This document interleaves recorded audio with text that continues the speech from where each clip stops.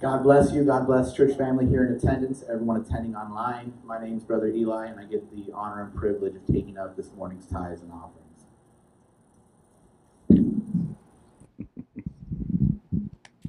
Um, today, I want to talk about uh, Jesus in the book of Matthew and the importance of giving with generosity. You know, we when we tithe for Christ, um, we're not throwing money away. We're not just giving money to something. We are taking what we have and we're saying, God, we trust you with this and we're giving it to you so your kingdom can grow here on earth, so people can be helped, lives can be touched for your glory. You have already given us so much by blessing us with eternal life. This monetary stuff, we give to help others as well. And so the verse I would like to share is in Matthew chapter 14, uh, verse 15. This is where Jesus is about to feed the 5,000. Now, when it was evening, the disciples came to him and said, This is a desolate place, and the day is now over. Send the crowds away to go into the villages and buy food for themselves. Jesus and the disciples had been healing people all day. It was nighttime. The disciples, in their limited mind, said, We have nothing to give. And to which Jesus replies, But Jesus said, They need not go away. You give them something to eat. And when you continue to read that, Jesus blesses the bread and the fish, and he's able to feed 5,000 men, not including their families and their wives. And there was some left over. You see, it doesn't matter what we limit ourselves or what we think we have to give. If we're giving it for God, if we're trusting God to give it, it's going to be enough when we have something and we bless it in the Lord, because what Jesus did, he blessed the fish and the, and the bread and was able to feed 5,000. When we take what we have and we give it and we bless it, Jesus will make it and use it for his glory. And I encourage everyone that calls this place home and everyone who, who has that giving heart that they also have generosity with it. God blesses us with discernment, and there's some things that we, we need to take care of first, of course. But if we have something to give to a brother and sister in need, if we have something to give to the church to ensure that we have a place to come and worship and do this, then yes, let God work through your heart. Let God work through our heart so we're not holding it and being reluctant, but being generous in what we have. Because God will see us through any storm and any situation. God will see us, and he's some, for some of us, He's brought us out of the depths and brought us here now, blessing us with things that are only of Him and are only good and he calls us to do the same for others in need. So this morning, I pray that not only do we have an open heart when we give, but we give generously because it's a celebration. We rejoice in giving. We rejoice in helping. We rejoice in seeing kingdom business being done and seeing the church grow and move here in Adelanto to see God's work and his word move here on earth. Our end game is eternal life, which we've been promised. But we still have the opportunity to help that grow here today. Amen. Let us pray. Dear Lord, we lift up the tithes and offerings to you this morning. God, we thank you for your goodness and your sovereignty, and we pray that you have a hand over these tithes, that we give to you generously, and that you take that and you use it for your glory, God. And we give humbly to you because you gave to us first. We love you, we thank you, and in your son's name we pray. Amen. Amen. Let's give him some praise, church. If you would like to give online, we have an online account, Tithely and Zelle. We also have Brother Jose here in person who can come by and hand you an envelope. Amen. And at this time, I would like to introduce my friend, our dear pastor, Pastor Jaime Gonzalez, to come share the word of Christ. Amen. Amen. Let's get some praise. Welcome once again. God bless you all. Those of you who are joining online, God bless you. Um, it is a privilege, an honor and a privilege to be able to bring the Word of God to wherever you're listening at your home. Um, it is a privilege. We do not take that lightly. So thank you for joining us this morning. Amen. Today we're gonna we're gonna minister on um, walking in wisdom. The Bible calls it walking circumspectly in um, Ephesians 5:15. You know, it, throughout my lifetime, I've I've um, met many many folks. Um, just in conversation, you know, hey, I, I've known the Lord for I'm gonna say 40 years. Yeah, I've known the Lord for 40 years, and um, having a conversation and they're doing things as we're talking that is not evidence of knowing the Lord for 30 years, or, or maybe knowing of Him, but maybe not walking with Him, maybe not walking circumspectly. Sometimes I've, I've even spoke with folks at times, and um, I've said, "But does the Lord know you?" But does the Lord know you? Yeah, you've known the Lord for 30 years, but you're still chucking and jiving with your life. Does He know you? Does He know your name? Is your name written in the book of life? And I know maybe sometimes you did, man, I didn't come here to hear that in church, but it's the Word of God. Amen. And we are responsible for sharing the Word of God with you. Amen. I've been walking with the Lord for 30 years, but is He walking with you? Are you walking in His steps, in His righteousness? Are you walking circumspectly? So eh, these are quest- real questions that you and I we need to ask ourselves. Amen. Because I know I know I don't know about you and it's not in my notes, but I know there is a line in the Bible where where somebody's thinking that everything's going to be all good and and the Lord says to him, "Depart from me, I never knew you." Come on. So if you've known the Lord for many years, please take some time today to ensure that he knows you also. Amen.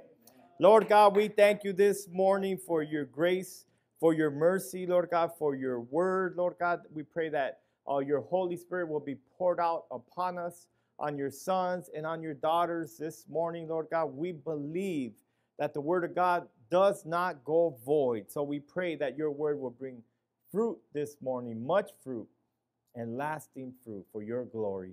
In Jesus' name. And we all said, Amen. Come on, give him some praise. I didn't mean to start with that one-two combo, but the Lord just led me into that.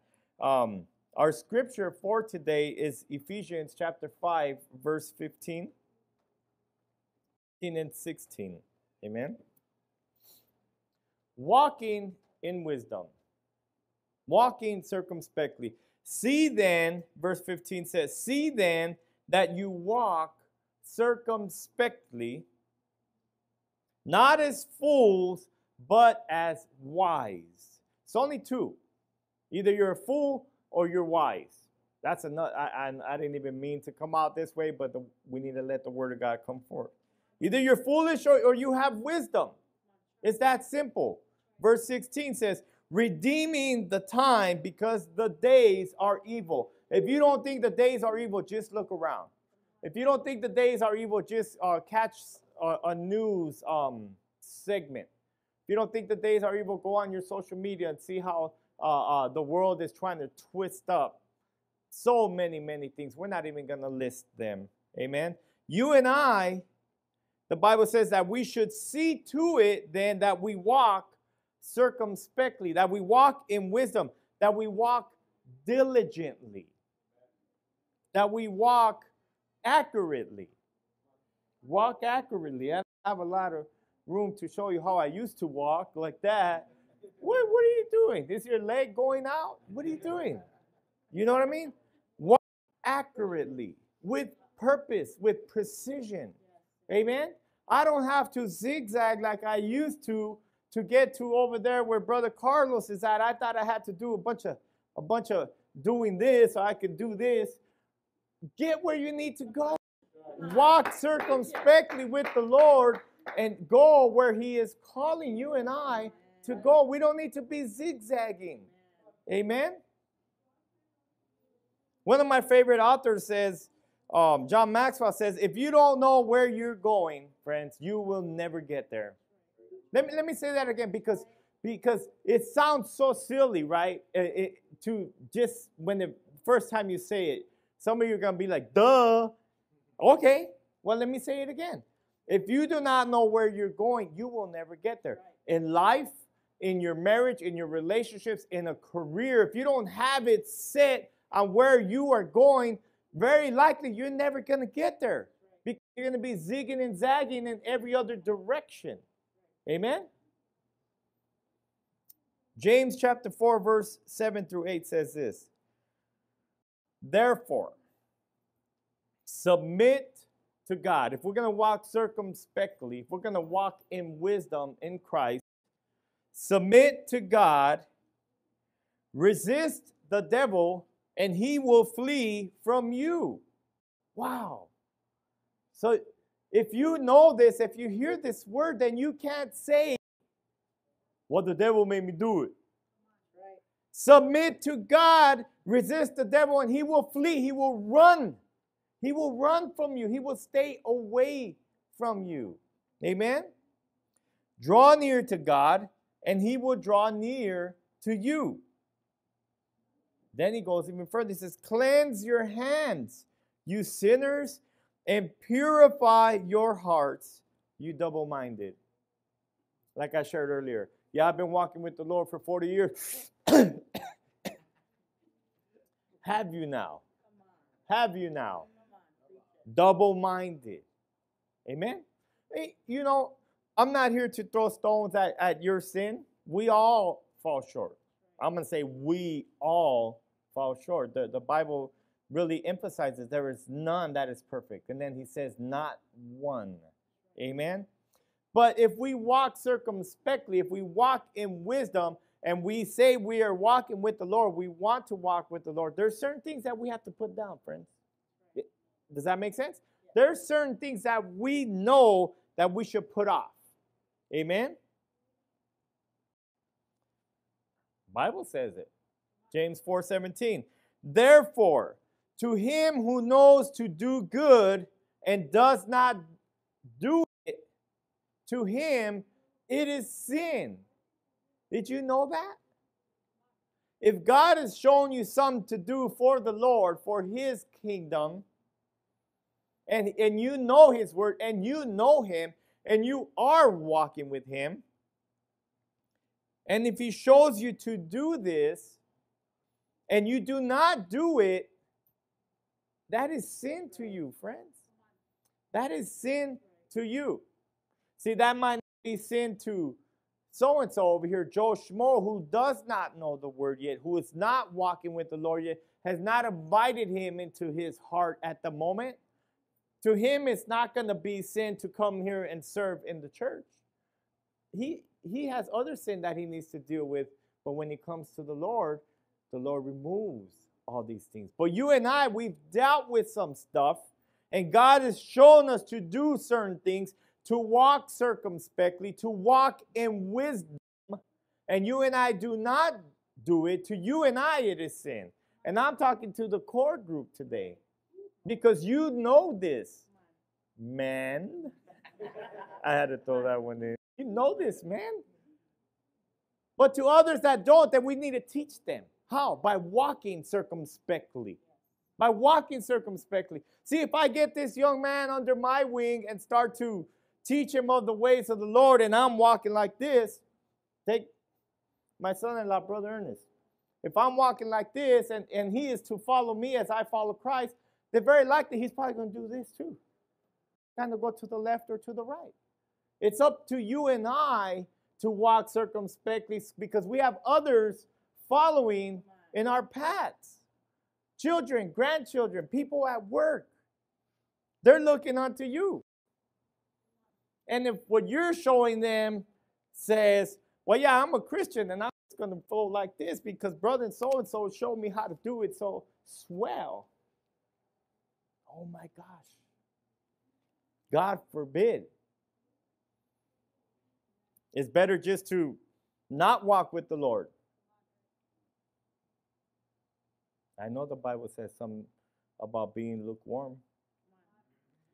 He prefers that we're either hot or cold, but not lukewarm. Amen? All right. None of that's in my notes, y'all. Amen. Colossians chapter 1, verse 9 through 10. Walking circumspectly. For this reason, we also, since the day we heard it, do not cease to pray for you and to ask that you may be filled with the knowledge of his will in all wisdom and spiritual understanding. That you may walk worthy of the Lord, fully pleasing Him. Fruitful in every good work and increasing in the knowledge of God. See, for you who hear, hear and know and do not do, that is sin to you, to you and I. But He's shown us the way, and God is interceding in our behalf that we would, all in wisdom and in spiritual understanding, that we will walk worthy of the Lord. Think about it. Think of what the Lord has done for your life. Think of what He's done in your life. Is, should you and I not walk worthy of that? If nothing, if you can think of nothing, go to the cross. And remember that God sent His only Son to be crucified on this cross for you, just in case you can't think of anything that He's done for you lately. Amen. Come on now. Walk worthy of the Lord, fully pleasing Him. I want you to know there's so many things coming at you and I that want us to, to invest our time, our talents, our treasures into things that are pleasing to us or pleasing to those who are trying to deceive or pull us away. But the Bible says that we should walk worthy of the Lord, fully pleasing Him. That's where it needs to start. I used to say this all the time. If I can live my life for the Lord to the best of my ability, live a life that is fully pleasing to Him, that the people that love me sincerely will be pleased with me. Amen. So if you're living a life pleasing to the Lord and, and it's getting somebody all bent out of shape, they you have to evaluate that relationship. Are they really for you? Come on. Because sometimes they're just for themselves and they want something from you. Nobody that loves you is going to want to take away from your relationship with That's just fact. Being fruitful in every good work. See, we don't know the fruit. We don't we won't know the fruit now. Sometimes it, it'll be immediate. Yeah, we'll get to see. But sometimes it's going to be years past. Sometimes the fruit of your labor and mine, we it won't it won't come and come out into fruition until we're gone home with the Lord. But it did change the fact that you lived a life pleasing unto Him. We do our part. We let God decide uh, about the fruit and when it's gonna um, ripen and when it's going to multiply. Amen.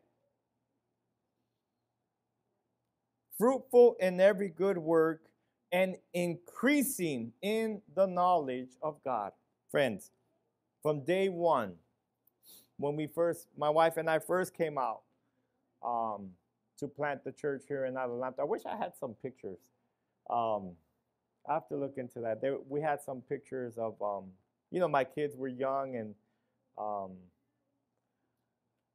they were kind of funny looking sometimes with their haircuts. I don't know who I don't know who was cutting their hair. But you know, they'll be on, on the instruments, or you'll see them with the broom, or or or just certain things that we're doing in ministry when it when you're called, when it's just you and your crew, right? But we did that. First and foremost, I told my church, our church, you guys now, you have to read your word. You have to read your word. And I told them, you are going to get tired of me saying this to you, but I need to be obedient. You must read the word. It says here, you we must increase in the knowledge of God. How are we going to do that? We must get into the word. We must read the word. We must hear the word. We must see the word in action. We must be the word in action. That's how we're going to increase in the knowledge of God. Amen. There's no other way, friends. I know some of you you might you might want to take a, a, a pill to give you the knowledge of God, or uh, maybe a mixture, a super mix to like Popeye's spinach, and then you get strong in the Word of God. It doesn't work that way. You must take time and get into the Word and get to know God on an intimate level. That's how you will increase in knowledge and wisdom of Him. That's how you will bear fruit for his glory. And that's how you and I will walk in wisdom of the Lord. Simple, but it's not very popular anymore. Think about it. It's not very popular anymore. I always look for my phone to make an example. These things are great. These things are really great. I got a picture to my girls here. And you can even get the word here. Great. But you can also be super distracted and pulled away from everything that comes into that. Use wisdom. Use wisdom. If you can't handle it, get you a real Bible. Get you a real physical Bible. If you can't handle all the ding and um, all these little notification sounds, um, when you try to get into the Word of God, you know, lock this thing up and get into the Word and then grab it back.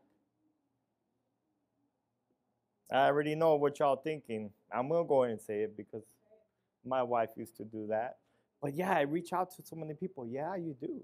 But you know, she had one of these, and she had it written up. She had sticky tabs. She had all that stuff because um, she used this as a tool to to reach out. See, she didn't fool herself. She knew once she got on that to the Bible, first notification notification came in. Oh, let me see what so and so is posting.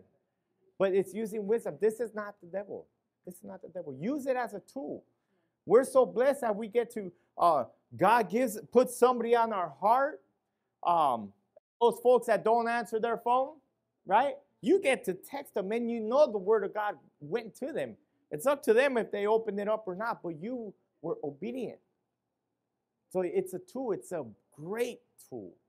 But look, don't let that tool um, be used as a, as a vessel to kind of distract you from getting into His Word and knowing His Word and getting intimate with the Lord. Amen? I, I have one of these. I use this for the Word. And um, I'm not real big on the status. What are they now? Status or what do they call it? Social media, man. I'm not real big on checking your status to see what you're doing. I, I I'm not real big on that. So, um, but if I was, there was a time where I was really big on uh, um, sports um, announcements, who's going to get signed, and, and, I was real big on that. And, and, I had to put it down. I had to delete those apps because it, it was taken away from me spending time in the Word of God. So I just got rid of them, and, and I'm still alive. I'm still alive, guys. And if I need sports info, I'll look it up. But if I need good info, God info, I also know where to go and I know where to look it up. It's at your fingertips and minds. Amen. None of this is in my notes. Just bear with me. Walking circumspectly. Let me read it again. See if we could get back on track here. See then that you walk circumspectly not as fools, but as wise. That is my next point. Oh, that guy's calling me fool. I'm not going back here. But you were a fool in the hood, though. I know, because you greeted people with, What's up, fool? Come on now. Don't, this is Praise Chapel, right? Come on, don't, oh, just don't get twisted with the suit. I, I'm not, I used to wear suits for court but now I get to wear a suit. I choose to wear a suit in the house of the Lord. But don't get it twisted. I know. We could do a sock check. Longer the sock, the downer the fool. Look at Juan. He said, I, I got my socks up to here. I already know. He stays with long socks. But see, that was a different era for us. That was a different season for us. And if we can use what God intended for evil and turn it around for the good, for His glory, we will bear fruit and much fruit and lasting fruit. I don't know. I have to do a, sock check on his son. Maybe he has those lines. Maybe he passed that on. But I know what else he's passing on the Word of God respect, obedience, how to treat a, a woman early on. early on. So he could do that and still wear long socks. But he's teaching them the valuable principles of what it's to grow up as a man of God. That's what you all are doing here today. That's what we get to do here today. Because we don't want to walk as fools anymore. We want to be the wise. The wise. And the wisdom only comes from the Lord, church. It don't come from any book you read, any sermon you hear. You could travel to the East Coast and catch this great sermon and service and movement. It's not going to give you wisdom. Wisdom comes from above, and you have to tap into it. There's no special pill. There's no IV you could tap into your body and to get wise. You and I have to get wisdom from the Lord, from His Word. Quit being foolish. I know. God bless you if you already tuned out. Um, we just have to share the truth, friends. Our times are short. Times are short. You and I know this. Mark, Matthew 10 16 says this Behold, I send you out as sheep in the midst of wolves. Therefore, be wise as serpents and harmless as doves. Wise as serpents and harmless as doves. So we still use wisdom. We still we keep our eyes open. Popular thing that people, non-believers, will try to "Why you you're just brainwashed?" No, I'm not. I'm whole, filled with the Holy Ghost, and He gives me wisdom. He gives me eyes to see, and He gives me ears to hear. So I need to walk wise as a serpent. I never thought of this. This is the East LA version. Wise as a serpent, meaning what? If you get out of line, I, my arm might still might, go out. I, I don't know. It hasn't happened. I know some of my friends do. And, and thank God I need we need friends like that. Amen. But wise as serpents, that means we're not going to be just pushed over and rolled over because we're believers. We're going to stand firm and believe God is our protector. God forbid we have to go to second measures. But God is our protector. And we walk in that wisdom, which helps us to be harmless as doves. You see that? It, it helps us to be harmless as doves. We know we can have the wisdom of the serpent. The serpent is a striker. But because we know this, we can be as harmless as a dove. That's how we draw people to Christ. Knowing that they can come and they're not going to be harmed. We're not trying to harm them. We're trying to teach them to walk circumspectly. Amen? Brethren, 1 Corinthians 14 20. Do not be children in understanding Come on. Grown man with the beard. I'm not picking on beards. I'm just thinking you're, you're grown, but child in understanding and be grown with the big old beard. Sorry, I keep looking on. There's beards out here. Um, you know what I mean, though. We're mature, but mature in the in the things of God as well. Do not be children in understanding. However, in malice be babes. In malice be babes. So we're not out there doing things that we used to do because we don't want to show malice towards anyone. So in malice, we're like babes. A baby's not going to harm anybody. It might give you a little kick if you're in close range, but it's not going to harm you, right? But in understanding, the Bible says, be mature in understanding, be mature. We have to get to that place, church, of maturity. You have to get to that place in maturity. Don't put it on your pastor. Don't put it on the radio speaker that you listen to every week or every day. God bless you if you have that uh, um, diligence to be able to listen to the Word of God on a regular basis. But don't put it on that speaker if he didn't teach you how to be gentle as a dove because they just give you a little icing on the cake. You need to dig into the word and gain knowledge of Christ yourself. Amen? Come on now. Not as fools, but as wise.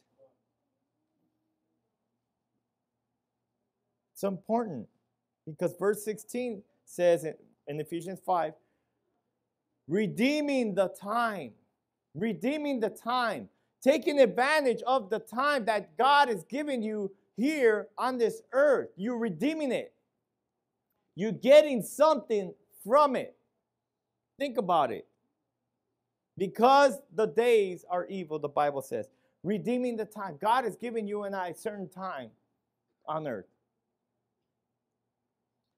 And I don't know. I, I thank God. I I think that I'm harmless as a dove. No laughs. Good. Good.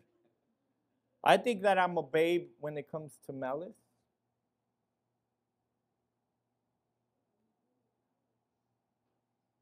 I also know that God has given me a certain amount, amount of time here on, on God's green earth, just as He's giving you a certain amount of time. One of our um, excuses, well, Pastor, I, I don't have enough time to uh, read the Word, I don't have enough time to pray. I don't have enough time to um, fellowship with believers. Well, let's break that down. Last I checked, God is giving you just as much as giving me 1,440 minutes per day. You have that same amount of time as I do. You have that same amount of time as I do but you don't have time to pray, do the math. It's not that you don't have time, it's that you don't want to. And that's a better answer. That's a better. I can respect that. Oh, I got God bless you, bro. You don't want to? Amen. We're still going to pray for you. But don't say you don't have time because you're still here. You're alive. He woke you up today. What are you talking about? The, the difference is are you redeeming the time? Are you redeeming the time? See, when I was early on as a younger lad, I used to waste a lot of time. I used to waste, I'm just sitting here wasting time. Literally, just just kind of wasting time. And I wasted many, many years. Thank God, you know, he still decided to walk, wake me up today. But I wasted so many years where I could have been different. Different by what? By drawing near to God instead of away from Him. But now I know He's giving me a certain amount of time each day. And if I don't go home to be with the Lord to the day by midnight, I still have just as much time today as you do. It's up to me to redeem the time that He's given to me. Do I fail? I fail a lot. I fall a lot. I, I, I, I, I don't capitalize on time many times. But I want to get up and I want to get refocused, recalibrated, if you will. Say, okay, God, this what would you have me do? Because what I failed already is gone. The missed opportunity is already gone. But if I'm aware of it, maybe I won't miss the next one. If I walk circumspectly, I won't keep missing the same things the same opportunities over and over again unless I'm a fool. Come on.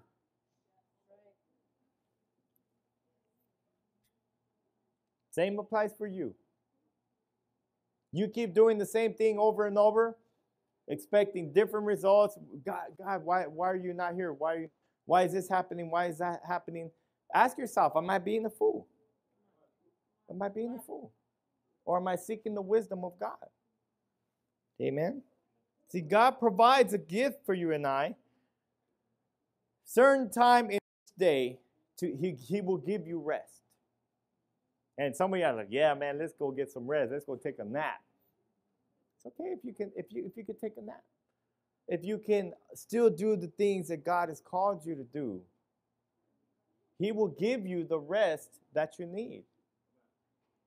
I used to joke around, but uh, it's kind of real. I take about two or three naps a year, and and only because I don't I don't Either I don't get to sometimes, and sometimes I, I get time, it's like, I don't know what to do.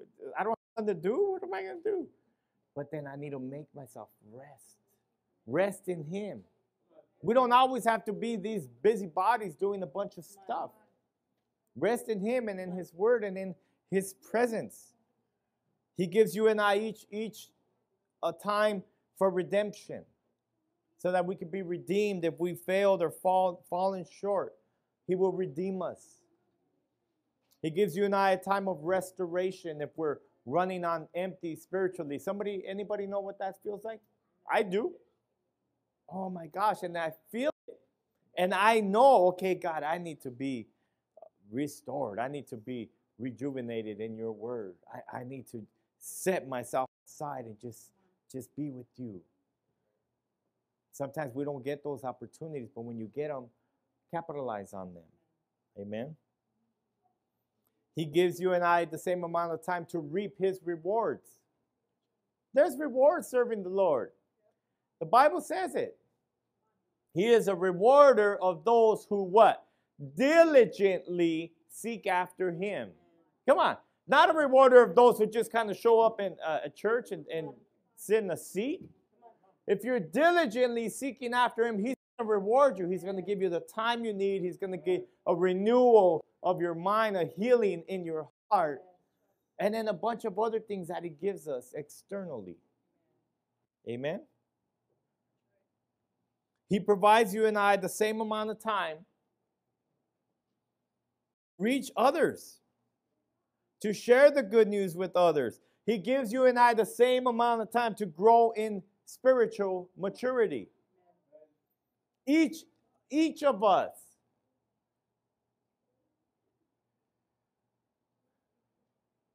It's a common thing. Sometimes we want to do comparisons. It's a common thing, but stay away from comparisons.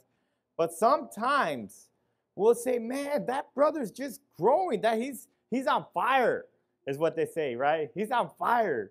I say like this, he's on fire.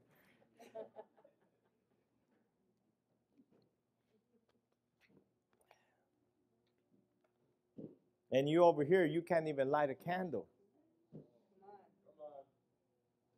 And if that's the case, find out what that other person's doing.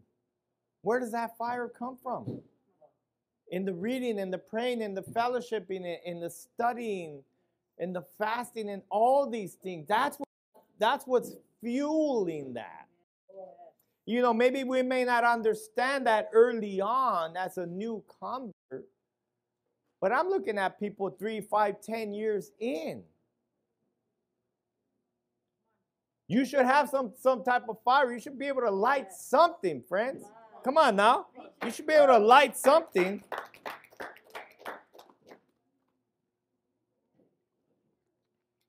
So I say to you lovingly, get off the milk. Get off the milk, man, already. Big old baby with the beard. So I, the beer keeps coming out, guys. Uh, you know, it's a good analogy. I have a little grandbaby. She loves her some milk. But she there, there's gonna come a time she needs to start to be tapered off and get off the milk and go get into solid foods. It's a natural development. That's how God made us. You and I as believers, we start off on the spiritual milk, the simple teachings. And if you get under a brother or sister who, who's going to guide you and um, disciple you in the ways of the Lord, they'll tell you, yeah, you know, you probably don't want to do that. Yeah, maybe you shouldn't do this anymore. But after 10 years, they shouldn't be telling you the same things of what not to do. You should have discovered that in the Word of God. Hebrews 5 12 through 14. Excuse me. For though by this time you ought to be teachers,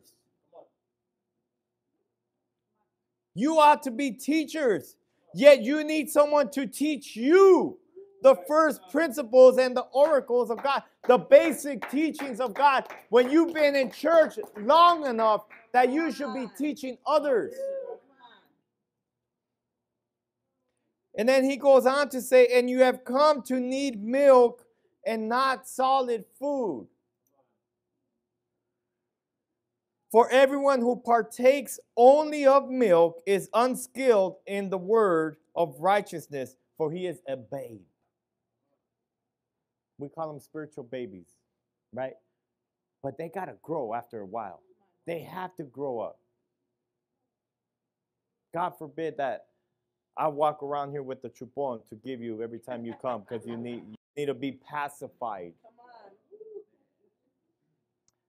None of this is in my notes. Solid food belongs to those who are full of age, that is, those who by reason of use have their senses exercised to discern both good and evil. See, after a few years of knowing the Lord and truly walking with the Lord, walking circumspectly with the Lord, you shouldn't have to come to the pastor and say, Pastor, this uh, a woman is really kind of reaching out to me. Do you think I should go and, and be with her? Bro, last time, uh, last time I checked, you're married. Why are you even asking me that? Get out of here with that. You know what I mean? I, am using that as a clear example. I mean, that's a simple no brainer. That's a simple no brainer. But maybe somebody early on who just got saved might have that honest question.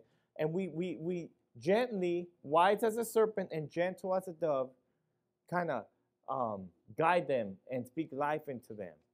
After a couple of years, the, the gentleness Wapa is gone. You need to snap out of it. Come on.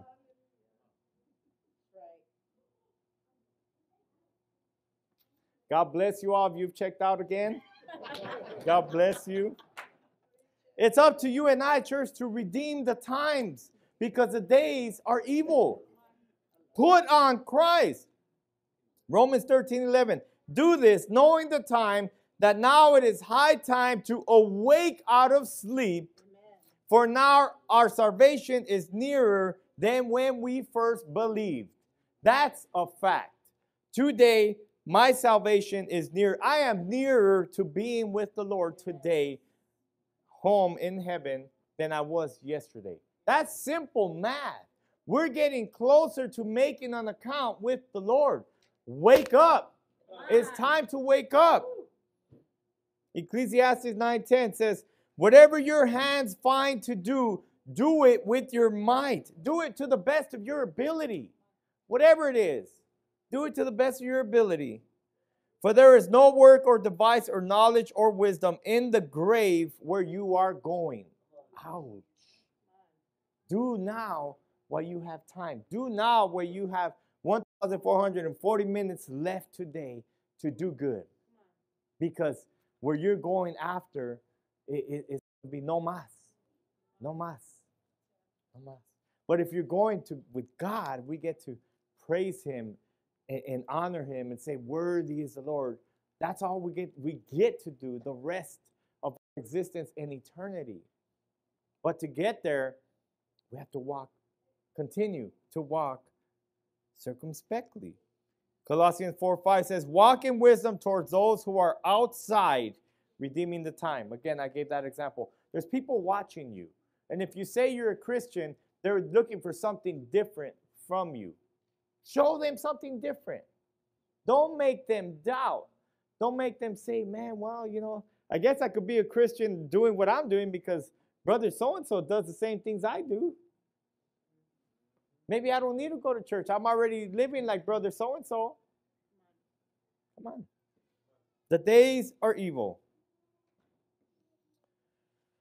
My last scripture. John 12, 35 to 36. Then Jesus said today to them, A little while longer the light is with you. Walk while you have the light, lest darkness will overtake you. He who walks in darkness does not know where he is going. Simple math. While you have the light, believe in the light that you may become the sons of light. Then Jesus, these things Jesus spoke and departed, and then he was hidden from them. A little longer, the light is with you and I, friends. Walk in the light. If we have to choose, either light or darkness. Okay? There's no middle ground. Right now we have the light on, we're in the light. It's simple math. If we were to shut the lights off right now, we would be in darkness. There's no there's no in between. Light, darkness. There's no middle ground. Thank you, brother. There's no middle ground. So choose to walk in the light while the light is still with you, while you still have access to the light. We still have access to the Lord while we still have breath in us. Don't let the darkness overtake you. The darkness is ready, out there, ready to take you into the dark. Right? Some of you like the dark as far as the scary movies and stuff. It's, it's okay, it's a movie. But you don't want to walk in the dark. You walk in the dark, you don't know where you're going. Plain and simple. How many people have stuffed toes and drop stuff in the dark? I don't know about you. I, I, just moved and I have to figure stuff out. So I come out and it's dark and, and I'm doing this. I, I have to find the light. I have to find the light. But after 20 plus years of being a believer, I shouldn't trying to I shouldn't be trying the spiritual light. I should know where it's at and I should go to the light. Go to the light while it is still available to you and I. As we get ready to close, walk in wisdom, friends, loved ones, beloved, brothers, sisters. Walk in wisdom. Not as a fool, but as somebody who is wise. Somebody hasn't called you a fool in a long time. I called you a fool four times today. but you're online, so you don't know where I'm at. but if you're here and you're not walking in wisdom, then you are a fool. Plain and simple. But we don't have to stay a fool. Right. We can walk in wisdom today. Right. We can come to the Lord today. We can ask Him into our hearts today. Right. And He comes and He comes immediately. He doesn't waste time. There's no, uh, um, like when you apply for a credit card, okay, we'll let you know in 48 hours. We already know if you didn't uh, approve me immediately, you know I'm not, I'm getting that letter. But the Lord doesn't do that. Once you welcome Him into your heart, He comes into your heart. Amen. And He removes your sin. He forgives you of your sin. Then it's up to you and I to walk in wisdom and not go back to walking in foolishness. Right. Does that make sense? Yes. Give Him some praise. God bless you. Thank you for those of you who joined us um, on the social media thing. God bless you pray that you would walk in wisdom today, that you would, I, I, I said a few jokes, but I speak in love, in all earnestness, earnestness and urgency. Walk in wisdom, friends. You will be blessed. God bless you. You're dismissed. Amen. The rest